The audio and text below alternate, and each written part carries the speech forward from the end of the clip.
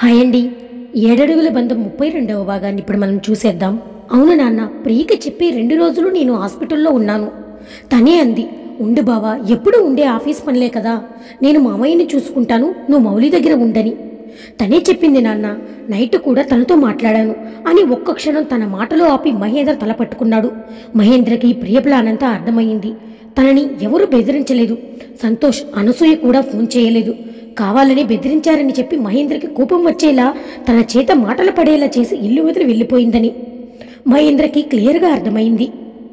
ఇక phone ring అవడంతో వెంటనే ఫోన్ లిఫ్ట్ చేశాడు మహేంద్ర. వెళ్ళావా బావా ఇంటికి? అని అడిగింది ప్రియా. ఎంత పని చేశావు ప్రియా? నేనెంత పని చేశాను బావా? సంతోష్ అనసూయ అత్త బెదిరించారని అబద్ధం చెప్పాను. అసలు నీకు చెప్పకుండా వెళ్ళిపోదామని అనుకున్నాను బావా. కానీ చివరిసారిగా నిన్ను అక్కని చూడాలనిపించింది. అందుకే వచ్చాను. నిన్ను అక్కని చూశాను కదా. ఇక నా బెంగంతా తీరిపోయింది. బావా ఇక నా లైఫ్ ఏదో నేను చూసుకోవాలి కదా. ఎంతకాలమని నీ దగ్గర ఉంటాను చెప్పు అని అంది ప్రియా. ఎందుకే ఇంత పని చేశావు? నువ్వు హాస్పిటల్లో మాట్లాడినప్పుడే నాకు అనుమానం వచ్చింది. దూరంగా ఉంటావనుకున్నాను కానీ మరీ ఇంత దూరంగా వెళ్తావని అస్సలు అనుకోలేదు. తప్పు చేశావు ప్రియా అని అన్నాడు మహేంద్ర. బావా ఇప్పటి వరకు జరిగిందేదో జరిగింది. ఇకనైనా నువ్వు అక్క సంతోషంగా ఉండండి. అంతేకాదు నాకైతే బంగారం రూపంలో ఉన్న మరో బాబుని చూడాలని ఉంది బావా అని అంది ప్రియా. నీ మాటలు తట్టుకునే ఓపిక నాకు లేదు ప్రియా. నీ మంచితనానికి చేతులైతే మొక్కినా తప్పు లేదని అనిపిస్తుంది. అంత పెద్ద మాటలు మాట్లాడకు బావా నాకు నచ్చదు. ఎంత కాదన్నా ప్రేమించినా నా ఫస్ట్ లవర్ నువ్వే కదా. బావా నువ్వు ఎక్కడ ఉన్నా హ్యాపీగా ఉండాలి. ఒక మాట చెప్పనా? చెప్పు ప్రియా. ఐ మిస్ యూ బావా అని ఫోన్ కట్ చేయగానే మహేంద్ర చాలా బాధపడ్డాడు. ఏదో జరిగిందని అర్థమై వర్మగారు ఏం మాట్లాడలేదు. ఫోన్ కట్ చేసిన ప్రియ ఏడుస్తూ బెడ్ మీద కూర్చుంది. ఎందుకు ప్రియ ఏడుస్తున్నావు? అంటూ బాధగా అడిగింది ప్రియ వాళ్ళమ్మ. ఏం చేయనమ్మా ఎంత కాదన్నా బావని ప్రేమించాను కదా. అమ్మా సడన్గా తనని వదిలేసి వచ్చినందుకు ఎలానో ఉందమ్మా అని అంది ప్రియ. ఎందుకు ఉండదు? నీ అంతటా నువ్వే ఇల్లు వదిలి వచ్చేసావు పైగా ఎవరూ నిన్ను పొమ్మని అనలేదు. కదా? నా మాట వినుమ్మా. నువ్వు బావ దగ్గరే ఉండు అని అంటుంది ప్రియ వాళ్ళమ్మ. అలాంటి మాటలు నా దగ్గర మాట్లాడక అన్ని విషయాలు తెలుసుండి నేనెలా బావతో కాపురం చేస్తాను? నిజంగా అలా చేస్తే నా అంత దుర్మార్గురాలు స్వార్థపరురాలు ఇంకెక్కడా ఉండరు. జరిగింది మర్చిపోవటానికి ట్రై చేస్తానమ్మా. మహా అయితే కొన్ని రోజులు బాధపడతాను. అంతే కదా? అని ప్రియానగాని ఏంటో నువ్వు?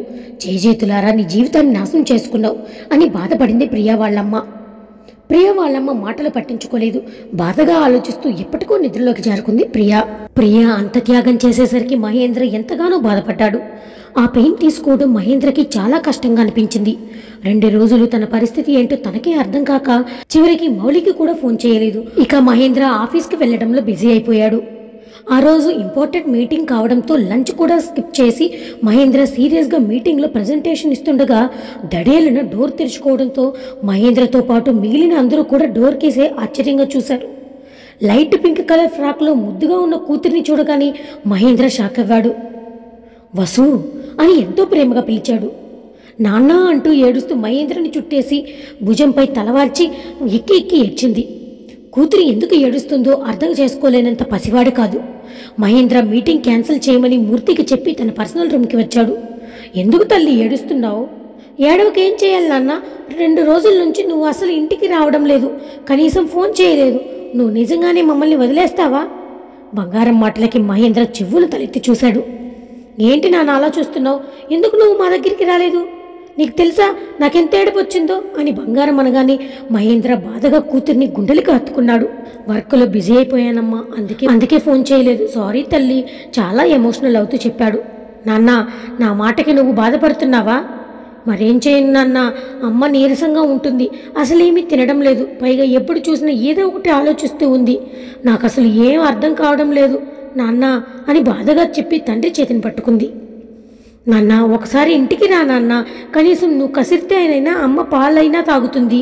అమ్మ బాగా నీరసించిపోతుంది అని బంగారం అనగానే సారీ నాన్న పద ఇప్పుడే మనం అమ్మ దగ్గరికి వెళ్దాం అని మహేంద్ర పైకి లేస్తుంటే బంగారం వెంటనే తండ్రి చేతిని పట్టుకుని అయ్యో నాన్న నువ్వు అప్పుడే రాకు. నువ్వు నాతో పాటు వస్తే అమ్మకు అనుమానం వస్తుంది. నేను నీ దగ్గరికి వచ్చి తన కోసం చెప్పగానే వచ్చాడు అని. లేకపోతే రాడు కదా అనుకుంటుంది. అందుకే నువ్వు ఒక గంట ఆగిరా నాన్న. నేను స్వప్న ఆంటీ చేత వంట చేయిస్తాను అని బంగారం అనగానే కూతురి మాటలకి మహేంద్ర తను చేసిన తప్పేంటో పూర్తిగా అర్థమయ్యింది. ప్రియ బాధలో పడి కట్టుకున్న భార్యని కూతుర్ని పట్టించుకోలేదన్న బాధ ఒక్కసారిగా తన్నుకొచ్చి మహేంద్ర లోపలనే బాధని దిగమింగుకున్నాడు. సరే అమ్మా నువ్వు చెప్పినట్టే చేస్తాను. మూర్తి పాపని జాగ్రత్తగా ఇంటికి తీసుకెళ్ళు అని చెప్పి తను ఫాస్ట్గా తన ఛాంబర్కి వచ్చి చైర్లో కూర్చున్నాడు. తన ఫోన్ ఓపెన్ చేసి చెక్ చేశాడు. మౌలి దగ్గర నుంచి చాలా మిస్డ్ కాల్స్ వచ్చాయి. ఎప్పుడు తనని దూరం పెట్టే మౌలి అన్నిసార్లు ఎందుకు ఫోన్ చేసిందో అర్థం కాక వెంటనే ఆమెకి కాల్ చేశాడు. పడుకున్న మహీరా ఫోన్ సౌండ్కి నిద్ర లేచి మహీ నెంబర్ను చూసి వెంటనే ఫోన్ లిఫ్ట్ చేసింది. మహేంద్ర ఎలా ఉన్నావు? అని చాలా నీరసంగా వస్తుంది మౌలి గొంతు. ఎలా ఉన్నావు మహీరా అని అడుగుతాడు. బాగున్నాను మహేంద్ర నువ్వు ఎలా ఉన్నావు? ఏమైంది? ఫోన్ లిఫ్ట్ చేయడం లేదు అని అడిగింది మహీరా. ఏం లేదు మహీరా. ప్రియ అసలు ఎందుకు వెళ్ళిపోయింది? డైరెక్ట్ పాయింట్కి వచ్చేసింది మహీరా. ఇంటికి వచ్చాక మాట్లాడతాను మహీరా అని వెంటనే కాల్ కట్ చేశాడు. మౌలి తనలో తానే బాధపడింది. మహేంద్ర ఎంత బాధపడుతున్నాడో అతని మాటల్లో అర్థమైపోయింది. ఏంటి మౌలి ఏం ఆలోచిస్తున్నావు? అంటూ లోపలికి వచ్చింది స్వప్న. ఏం లేదు స్వప్న మహేంద్ర వస్తున్నాడు. రెండు రోజుల నుంచి ఏమీ తెలియదు తనకి కాస్త వంట చేస్తావా? అని రిక్వెస్టింగ్గా అడిగింది. అదేంటే అలా రిక్వెస్టింగ్ అడుగుతావు? నేను వంట చేస్తే వస్తానని చెప్పారా సారు? చెప్పలేదు కదా కానీ నాకు తెలుసు ఆయన వస్తారని. మౌలి నిన్ను ఒకటి అడగనా అని అంది. నాకు తెలుసు స్వప్న నువ్వేం అడగాలనుకుంటున్నావు? ప్రస్తుతం నేను నా జీవితం కోసం ఏమీ ఆలోచించడం లేదు. ఆయన సంతోషంగా ఉండడమే కావాలి అని మౌలి అనగానే స్వప్న ఇంకేమీ మాట్లాడలేదు. వంట చేయడానికి కిచెన్ రూమ్కి వెళ్ళింది. ఈలోపు లోపలికి వచ్చారు మూర్తి బంగారం ఇద్దరు. మూర్తిని చూడగానే అర్థమయ్యింది. బంగారం ఆఫీస్కి వెళ్ళి మహేంద్రని కలిసిందని. అమ్మా లేచావా? పాలు తీసుకురానా? అని ఎంతో అమాయకంగా అడిగింది. ఎక్కడికి వెళ్ళావు బంగారం? అది బయటికి వెళ్ళానమ్మా. అదే బయటకంటే ఎక్కడికి తల్లి? సారీ అమ్మా నాన్న దగ్గరికి వెళ్ళాను అని అంది. అవునా? ఎందుకు? రెండు రోజులు నాన్న ఫోన్ చేయలేదు కదా. పైగా మనం చేసిన ఫోన్ లిఫ్ట్ చేయలేదు కదా. అందుకే నాన్న ఎలా ఉన్నారో ఏంటనని చూద్దామని వెళ్ళానమ్మా.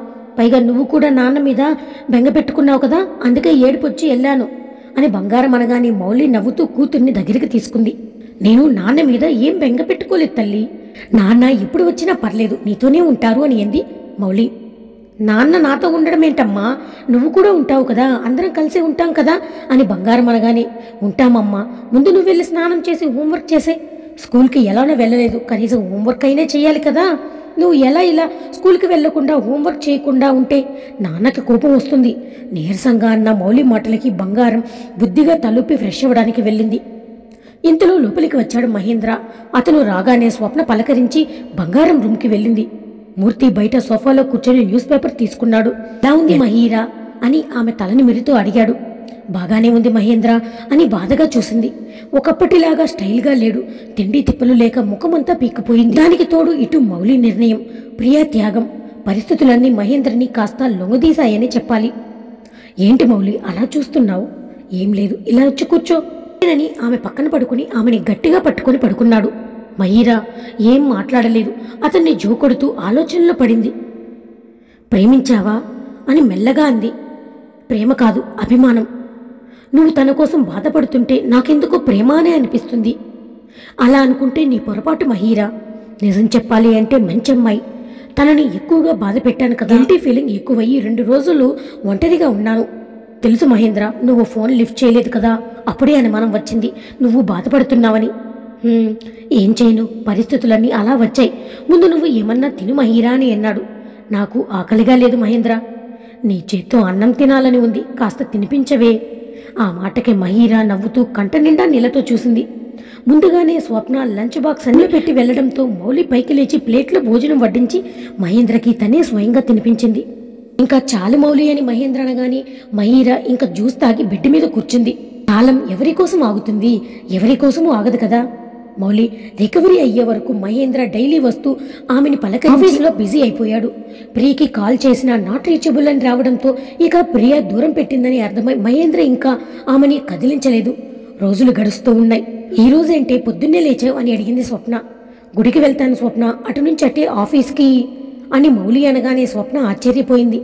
ఏంటి ఆఫీస్కి వస్తావా ఏమైందే? నేను రాకూడదా ఏంటి? నవ్వుతూ అడిగింది. ఎప్పుడూ లేనిది మౌలి ముఖంలో సంతోషం చూసి స్వప్న హ్యాపీగా ఫీల్ అయ్యింది. పద స్వప్న అని ఇద్దరు గుడికి ఆటోలో వెళ్ళారు గుడి రావడంతో ఇద్దరు ఆటో దిగి లోపలికి వస్తుండగా మౌలికి అడ్డుగా నిలబడ్డారు. సంతోష్ అనసూయ ఇద్దరు కలిసి. కానీ మన మహిర ఏమీ భయపడలేదు. ఏంటి ఆరోగ్యం బాగోలేదని మా అమ్మని పంపిస్తే మీ ఆయన ఏదో ఎక్స్ట్రా చేశాడంట? ఏంటి కదా ఇద్దరు కలిసిపోయారా ఏంటి? అని అన్నాడు సంతోష్. అదే ఏంటుంది సంతోష్. లేదంటే దీని ముఖం ఎందుకు ఇంతలా వెలిగిపోతుంది? అని అనసూయ అనగాని అవును. అయితే ఏంటి? అని మహీరా అనగానే ఇద్దరూ కోపంగా చూశారు. సంతోష్ వెంటనే మహీరా చేతిని పట్టుకోవాలని చూశాడు. కానీ మహీరా వెంటనే చాచిపెట్టి సంతోష్ చెంపపై ఒక్కటిచ్చింది. ఎంత ధైర్యమే నీకు? సంతోష్నే కొడతావా? నిన్ను అంటూ అనసూయ చెయ్యెత్తేలోపు అనసూయ చెంప చెల్లుమని పగిలింది. కొట్టింది ఎవరో కాదు వర్మగారు. వర్మగారిని చూడగానే షాక్తో బిగుసుకుపోయింది అనసూయ. దాంతో సంతోష్ కూడా ముందడుగు వేయలేకపోయాడు. అప్పటికే వర్మగారు చాలా కోపంగా ఉన్నారు. అనుకున్నాను మీరు వస్తారని. ఎందుకు ఇంత జరిగినా కూడా దీన్ని కూడలిగా? నోర్ముయ్ అంటూ గట్టిగా అరిచేసరికి మహీరా స్వప్న కూడా వెనకడుగు వేశారు. వర్మగారి కోపం తట్టుకోలేక. సంతోష్ నీకు బ్రతకాలని ఉందా లేదా? జేబులో ఉన్న గన్ను తీసి ఊఫ్మంటూ ఊదుతూ ఇప్పుడే చెప్పు బ్రతకాలని ఉంటే ఈ ఊరిలో ఉండకు. నీ మంచికే చెబుతున్నాను. లేదు నాకు బ్రతకాలని లేదు. చావాలని ఉంది అంటే చెప్పు ఇప్పుడే చంపేస్తాను. మాట్లాడుతూనే సంతోష్ నుదుటిన గన్గూరి పెట్టేసరికి సంతోష్కి చెమటలు పట్టేసింది. అనసూయతో భయంతో గుటకలు మింగుతూ వెనకడుగు వేసి పారిపోదామని చూసింది. కానీ తనకి ఆ ఛాన్స్ లేదు. వద్దు వర్మగారు ఇంకెప్పుడు నేను మహిరా జోలికి రాను అని సంతోషనగాని వర్మగారు గన్ సంతోష్ గుంటల మీద పెట్టి వాళ్ళ జోలికే కాదు ఏ మాత్రం నా ఫ్యామిలీ వైపు కన్నెత్తి చూసినా సరే నిజంగానే నిన్ను చంపేసి పడేస్తాను. అర్థమైందా? పో ఇక్కడి నుంచి అని వర్మగారు గట్టిగా అరిచేసరికి సంతోష్ భయంతో పరుగులు తీశాడు. కారులో నుంచి ఇదంతా చూసిన దేవయాని ఇంకా జీవితంలో వీడు మహీర మహేంద్ర జోలికి రాడు. వర్మగారితో ముందుగానే మాట్లాడి మంచి పని చేశాను. లేదంటే అనసూయ వల్ల వాడు ఇంకా రాక్షసంగా మారిపోతాడు అని అనుకుంది దేవయాని. ఇంకా ఎందుకు ఇక్కడ నిలబడ్డావు? చూడు ఒక్క క్షణం కూడా ఆలస్యం చేయకుండా పో ఇక్కడి నుంచి. లేదంటే నేనేం చేస్తానో నాకే తెలియదు అని వర్మగారు అనేసరికి అనసూయ భయంతో అక్కడి నుంచి వెళ్ళిపోతుంది. ఇక వర్మగారు గన్ను జేబులో పెట్టుకుని అక్కడే ఉన్న మెట్టు మీద కూర్చున్నారు. మహీర వెంటనే పరుగున వచ్చి వర్మగారికి వాటర్ ఇచ్చింది. ఎలా ఉంది మావయ్య అని అడిగింది. కొంచెం బీపీ రేజ్ అయిందమ్మా. నేను బాగానే ఉన్నాను తల్లి అని అన్నాడు. ఎందుకు మావయ్య మీకంత కోపం? వాడికి ఎలానో నేను బుద్ధి చెప్పేవాడిని కదా. బుద్ధి చెప్పినా మారే రకం కాదు వాళ్ళిద్దరూ. అందుకే ఇవ్వాల్సింది ఇచ్చాను. ఒకవేళ నా మాట కాదని ఆ సంతోష్ ఇలానే మూర్ఖంగా ఉంటే చెప్పు. కేసు పెట్టి జైల్లో పడేస్తాను. వెధవ కళ్ళు మూసుకుపోయి ఏడుస్తున్నాడు అని వర్మగారు తిట్టుకుంటూ ఉన్నారు. ఇక వదిలేయండి అంకుల్. పదండి లోపలికి. వెళ్ళి దేవుడికి దండం పెట్టుకుందాం అని స్వప్నానగాని ముగ్గురు కలిసి లోపలికి వెళ్ళారు. దేవయాని మహీరాతో మాట్లాడాలనుకుంది. కానీ మళ్ళీ తను కోపడుతుందని అక్కడి నుంచి వెళ్ళిపోతుంది దేవయాని. తర్వాత ఏం జరుగుతుందో మనం నెక్స్ట్ పాటలో తెలుసుకుందాం.